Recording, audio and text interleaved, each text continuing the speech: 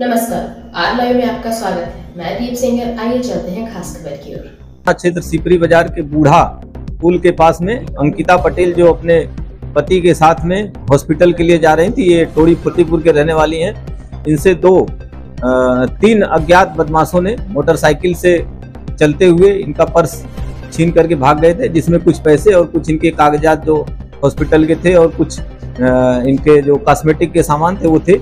इसके आधार पे सिपरी बाज़ार थाना क्षेत्र में थाने पर उचित धाराओं में अभियोग पंजीकृत कर लिया गया था। वरिष्ठ पुलिस अधीक्षक महोदय द्वारा तीन टीमें लगाई गई थी, स्वाट सर्विलांस और थाना सिपरी बाज़ार की टीम इसमें लगी थी।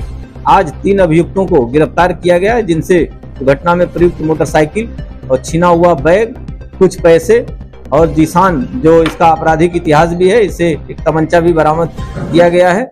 इनको जेल भेजा जा रहा है।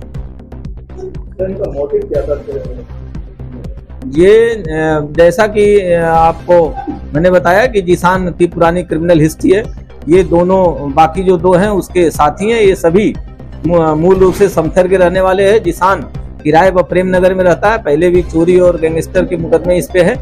इसके दोनों साथियों के साथ मिल करके चोरी लूट करते हैं और उसके साथ अपना पैसा बांट करके अयासी करते हैं उस पैसे से।